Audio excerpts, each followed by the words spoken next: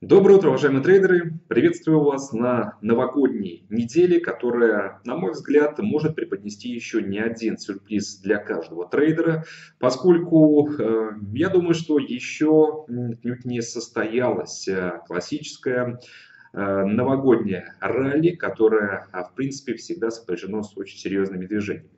Да, стоит отметить то, что на рынках сейчас в прямом смысле отсутствуют эм, большие пласты трейдеров с крупными деньгами, капиталами, вследствие чего априори торги должны быть э, низколиквидными.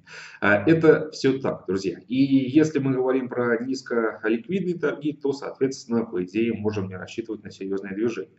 Однако я а, хочу все-таки сделать маленькую ремарочку. Она указывает на а, то, что низкая ликвидность торгов особенно вот приправленная вот сезонностью, связанной с а, новогодними праздниками, а, она а, может привести к более серьезным движениям на рынке, нежели чем даже всегда, по мере появления даже не самого значимого фундамента для анализа, который, я думаю, будет нам еще доступен. Отчетов не так уж и много на этой неделе, но все-таки что-то будет. И опять же, рынок может сейчас реагировать на какие-то комментарии, которые сейчас трудно отследить на повестке, по повесткам экономических календарей. Э, это могут быть дополнительные, э, собственно, подробности, э, связанные с налоговой реформой в США. Как вы знаете, законопроект, его финальная версия уже приняты, и дело осталось, казалось бы, за малым, за подписью Трампа, но что-то он медлит. До рождественских праздников мы эту реформу так и не увидели, возможно, потребуется снова чуть больше времени, друзья. Но для тех, кто покупает американскую валюту, я думаю, что уже все ясно, что будет с этим инструментом, потому что сейчас э, буквально все звезды сошлись для того, чтобы американца можно было бы покупать, поскольку геополитика, она вроде бы как отошла, отошла уже на десятый план, у нас ФРС повышает процентные ставки, мы с вами замыкаем 2017 год и готовимся к, вероятно, трем повышениям и раундом, а, шагам нормализации денежно-кредитной политики уже в 2018 году.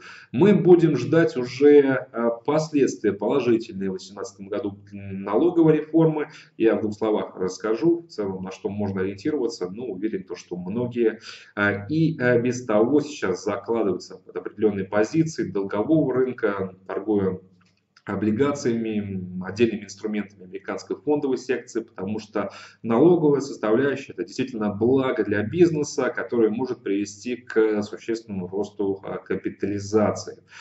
Э, друзья, еще у нас отдельной темой является а, то, что происходит на рынке криптоинструментов. Не обращать внимания на безумную, бешеную волатильность, которая сейчас свойственна буквально для всех а, активов рынка, скажем, такой криптосреды. Э, инструменты показывают не просто, скажем, проторговку в диапазоне нескольких процентов, речь идет уже периодически даже о потере э, и 50 процентов. Это касательно э, того же самого биткоина, который, как и предполагалось, мы видели в альтернативном сценарии, то, что запуск фьючерсных торгов на Чикагской Э, биржа деривативов откроет дорогу для игры на понижение. А, собственно, так это или э, нет, э, я думаю, что все-таки мы можем уже ответить на этот вопрос, потому что первая котировка, которую мы видели на Чикагской бирже, была 19,5 тысяч за один биткоин, после чего его активно стали обваливать. Ну, совпадение это, друзья, или нет, я думаю, что нет. Крупные инвесторы сыграли на а, понижение, поскольку ждали более-менее регуляторную среду, чтобы как следует зашортить уже в э, всем известном таком более-менее легальном а, законном и регулируемом пространстве. Поэтому биткоин у нас скорректировался практически до 10 тысяч долларов кто-то говорил, что будут э, значения даже пониже, но после последовало восстановление. Сегодня, кстати, на азиатской сессии мы наблюдаем активный откуп этого инструмента и уже вплотную подобрались к сопротивлению в 15 тысяч долларов. Ну, о биткоине также, друзья, поговорим. Давайте пробежимся по традиционному набору активов, которые мы традиционно разбираем. Как вы уже наверняка поняли, я снова в строю, снова вместе с вами слежу за э, ситуацией на финансовых рынках. Надеюсь, то, что вы воспользуетесь воспользовались двухнедельной передышкой, смогли отдохнуть от меня. Надеюсь, что это так. Но теперь я вынужден снова, скажем, мозолить вам глаза. Надеюсь, что для многих это не так, кто-то, может быть, даже э, не против э, видеть меня. Ну, это, опять же, лирическое отступление. Давайте все-таки перейдем к анализу наших традиционных активов. И, как и всегда, друзья, нефтяночка, которая никуда не девается. Правда, коррекции мы пока не наблюдаем. А вот рост идет э, довольно серьезный. Сейчас э, мы говорим э, о котировках для брендов 65 долларов за баррель.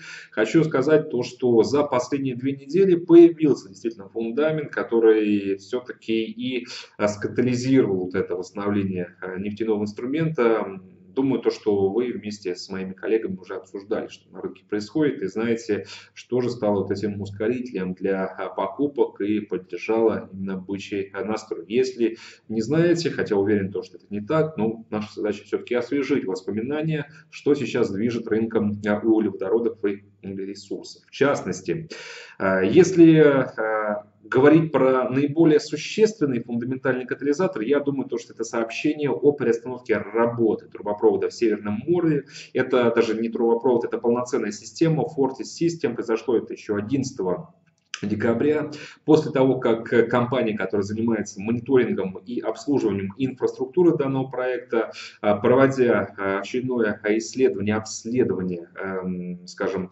работы э, всех э, технических узлов этого трубопровода, сообщила о наличии трещины на одном из участков ну, серьезно, учитывая то, что через этот трубопровод проходит э, примерно 500 тысяч баррелей в сутки. Конечно же, тут же э, транзит э, прикрыли, и рынок посчитал, что это значит для глобального, опять же, предложения. Я думаю, что будем реалистами, 500 тысяч баррелей в сутки это действительно много, поэтому сообщение о пристановке работы этого узла энергетического тут же стало причиной для покупок нефти.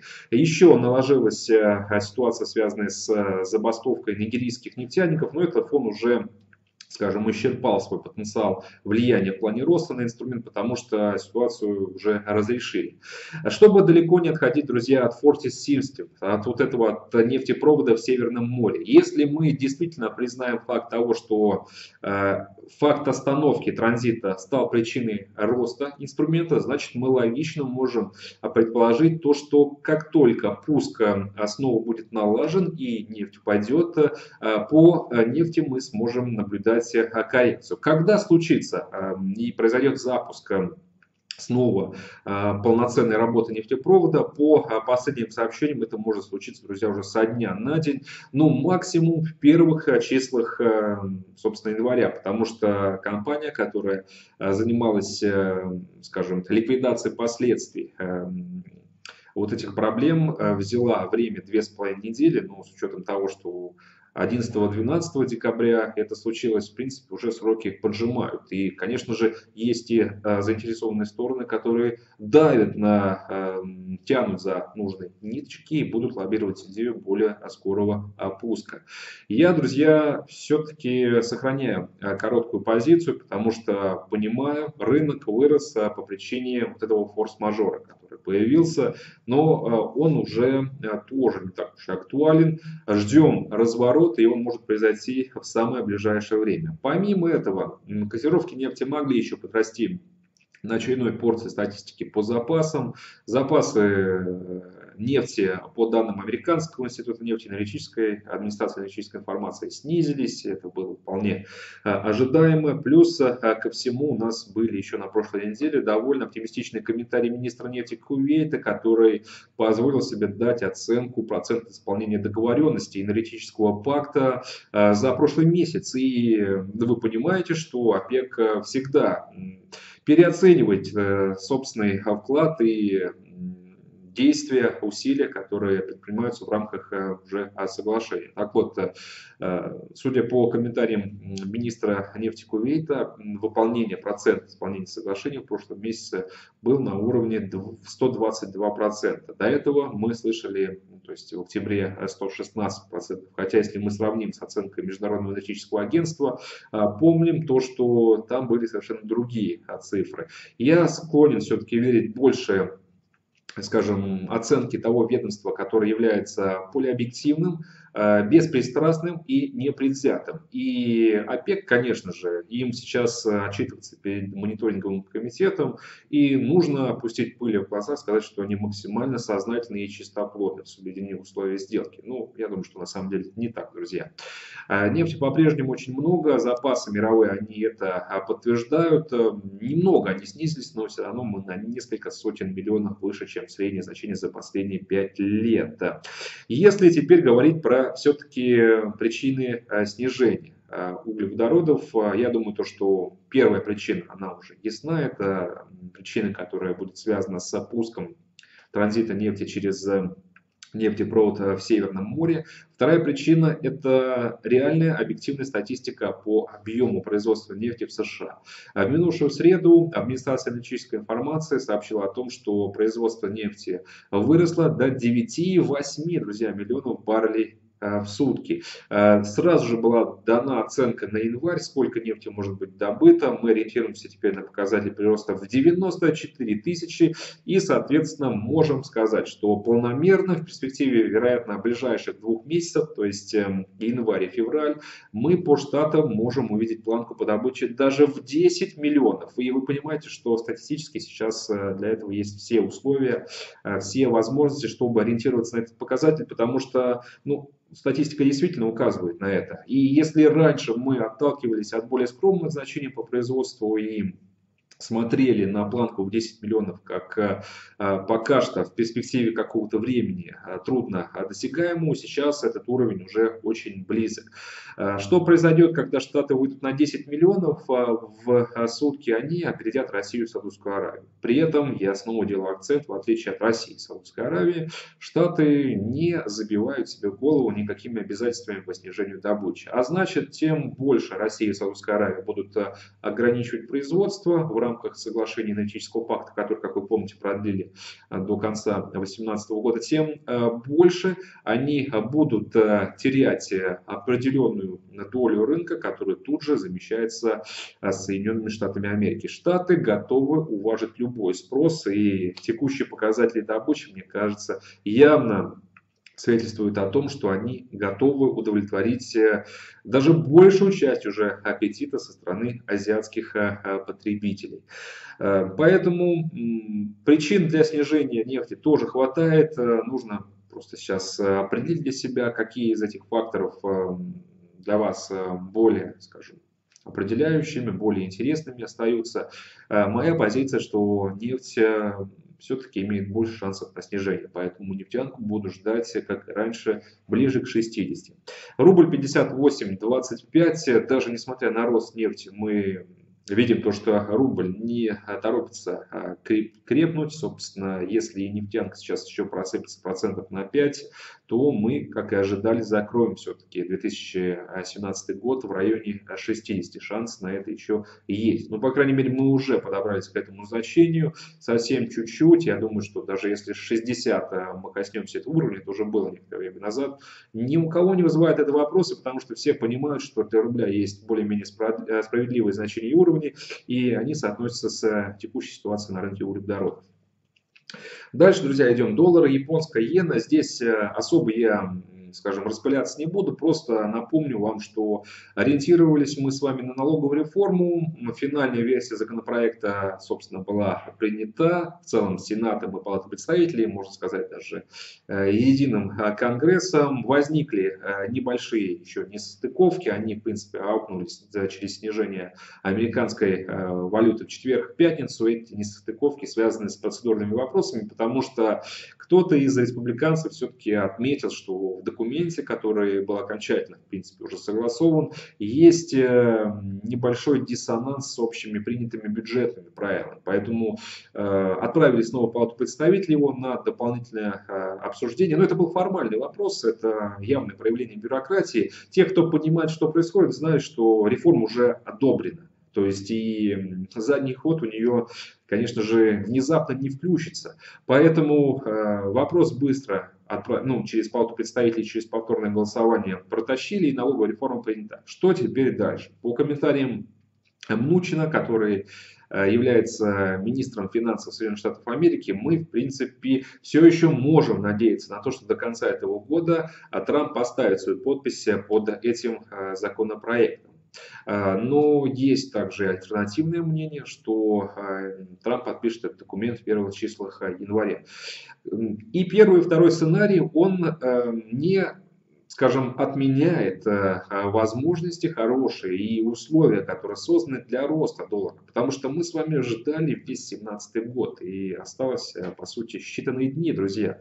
Не нужно сворачивать на финишной прямой с э, четкой убежденностью в том, что у американца будут более высокие горизонты впереди и доллар сможет добраться до более высоких ценовых значений. Поэтому доллар-иена, который сейчас торгуется на отметке 113.27, я ну, может быть, с фанатизмом отношусь к уровню 115, но все-таки он для меня остается таким магнитом, который постепенно тянет себе цену.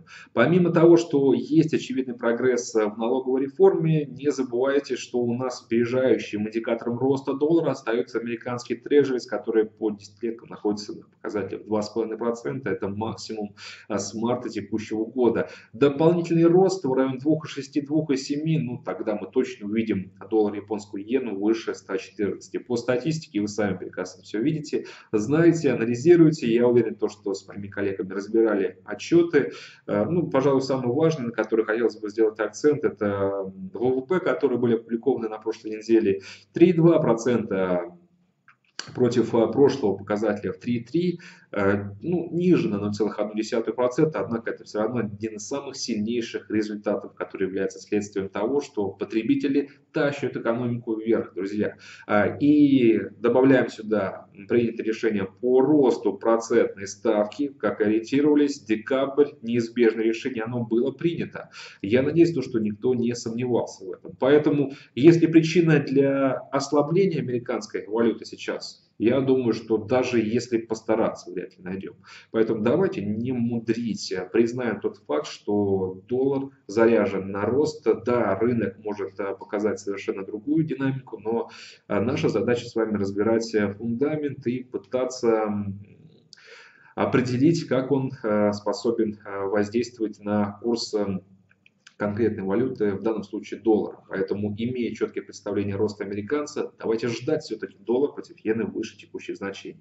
Евро против доллара на протяжении всей прошлой недели также а, подрастал. В частности, а, причины роста – это статистика. У нас довольно сильные данные по индексу потребительская, э, точнее по инфляции индексу потребительских цен полтора процента. Значит, э, снова на рынок вернулись спекулянты, ожидающие, что Европейский центральный банк начнет постепенно ужесточать монетарную политику. Друзья, 2018 год еще не начался, но я сразу хочу вам сказать, забудьте о том, что ЕЦБ будет повышать процентные ставки, либо существенно э, изменить риторику в сторону жесткого подтекста. Этого не будет.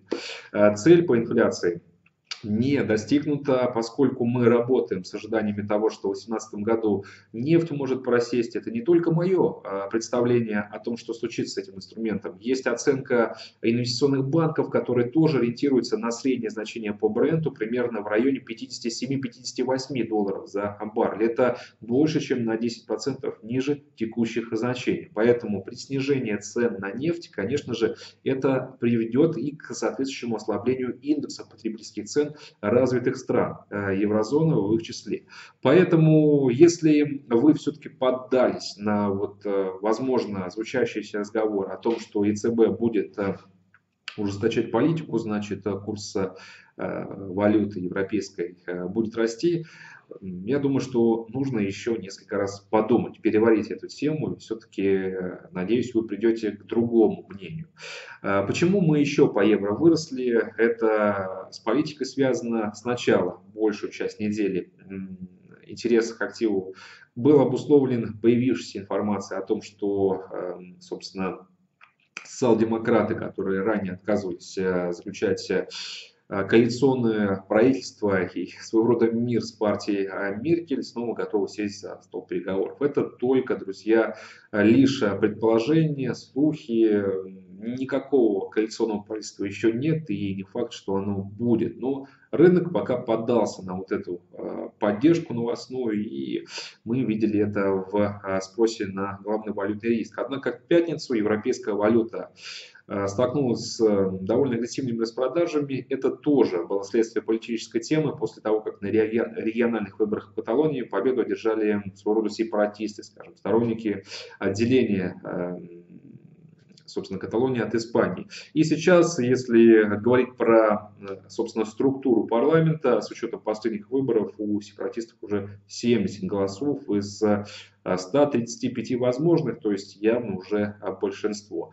Поэтому политическая тема – это как мрачная туча, которая останется для еврозоны очень болезненный для национальной валюты, я надеюсь, тоже. Э, поэтому евро непременно пойдет вниз. Видимо, сейчас для европейского валюты нужен дополнительный триггер, и этим э, стимулом может выступить э, рост американского доллара, на который мы, собственно, с вами ориентируемся. А фонд против доллара особых изменений, друзья, не произошло. Мы по-прежнему зажаты с вами в довольно Э, пусть и широком, но все-таки диапазоне, который держится на протяжении нескольких э, месяцев подряд, мы не можем, э, скажем, провалиться ниже отметки 1.30 и вырасти выше уровня 1.35. Сейчас котировки 1.3373, но я по-прежнему, раньше, как вы помните, мы достигли профита, я занял выжидательную позицию, рекомендовал пока не торопиться с дальнейшим трейдом. Сейчас я лично снова присоединяюсь к покупкам, потому что понимаю, год завершается, процедура голосования Брекзита явно затягивается а, и начинает очень многих нервировать уже, потому что э, мы видим, э, насколько э, сильно и болезненно это ну, сам факт обсуждения неопределенности остается для а, крупных компаний Европейского Союза и для Англии, которые до сих пор не знают, сохранит ли Великобритания доступ к единому европейскому рынку, не знают, на каких, а, собственно, условиях будет осуществляться дальнейшая работа, сохранит ли Лондон статус а, мирового финансового центра и так далее. Эти вопросы, касающиеся неопределенности, должны постепенно разрешаться. Мы под конец, собственно, 2017 года все-таки настроились на определенные позитивные сдвиги. Они толкали фонд, между прочим, вверх. Последний комментарий с ссылкой на Sunday Telegraph. А это комментарий Терезы Мэй о том, что в ближайшие недели э, переговоры продолжаются, но в ближайшие недели можно, скажем, настраиваться на то, что будет сделан очередной мощный шаг вперед. Ну, позитивная эта новость, конечно же, позитивная. Пока что до конкретных решений еще дело не дошло, но на этом позитиве можно подрасти.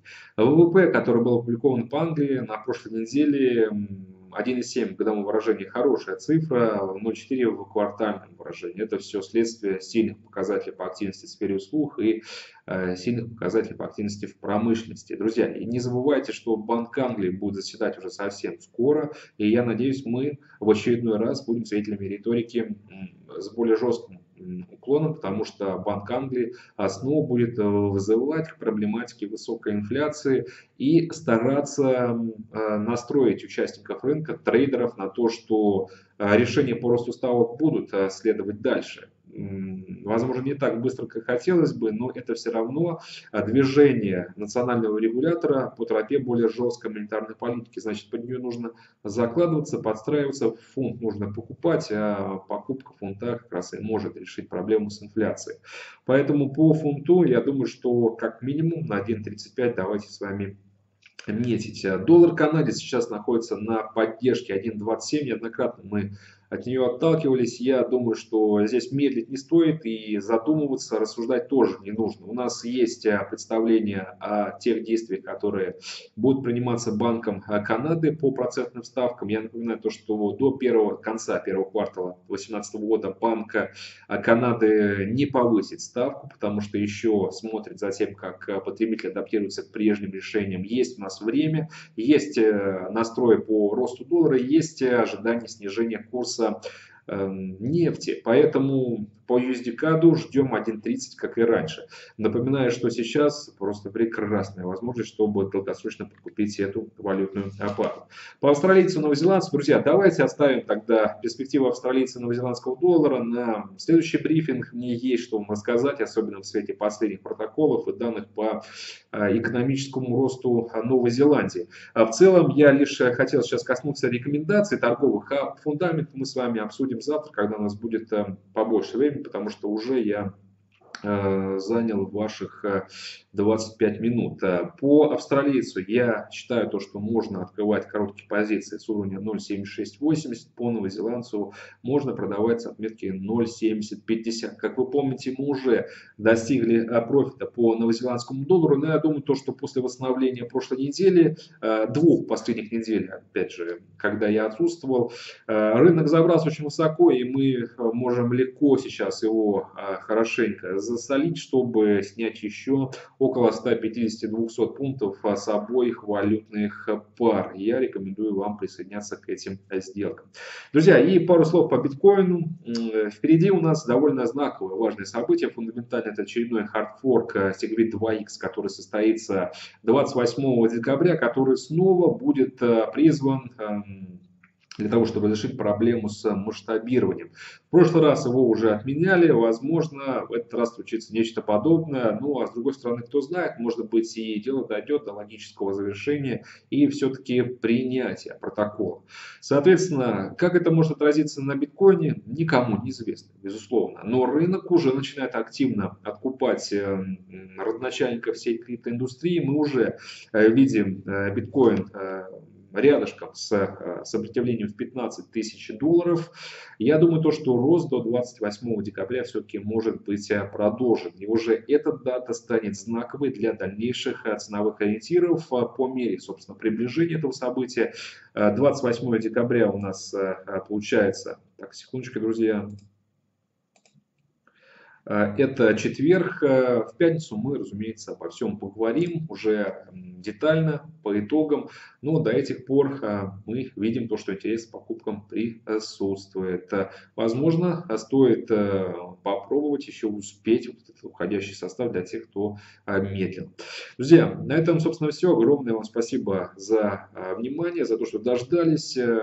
Я, а, как и раньше, буду держать вас в курсе всего самого интересного, того, что происходит на рынке.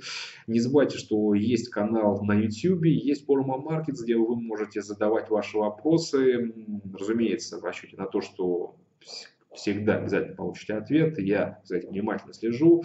Э, спрашивайте по инструментам, которые мы не разбираем, но у вас интересует. Я думаю, то, что не только я скажем, поддержу вас в трейдингу по альтернативным инструментам, ну и многие другие трейдеры, которые, возможно, уже сделали этот актив частью своей спекулятивной э, торговли. На этом все. Э, хорошего вам, э, собственно, хорошей недели, хорошей э, торговой э, сессии, э, перспективной, конечно же, результативной, доходной. Увидимся завтра в 9.30 по московскому времени в прямом эфире через Перископ. Не забывайте, подключайтесь. Всего доброго, до свидания.